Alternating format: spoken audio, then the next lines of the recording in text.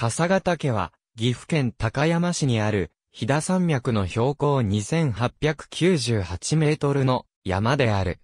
中部山岳国立公園内にあり、日本百名山及び新、花の百名山に選定されている。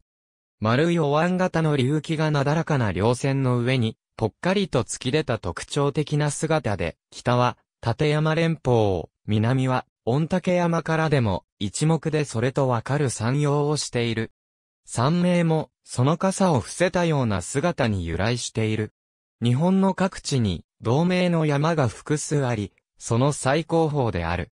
春になると、山頂直下を頭とする、馬の雪形が現れ、高山盆地からも望むことができる。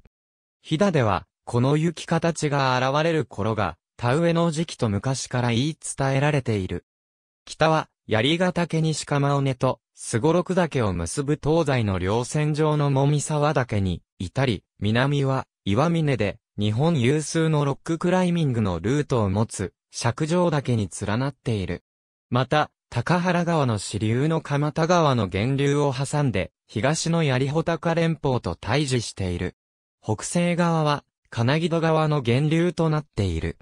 笠新道釈市平付近の品の金梅と、廃松秩父岩方面から望む笠ヶ岳3つの登山ルートがある。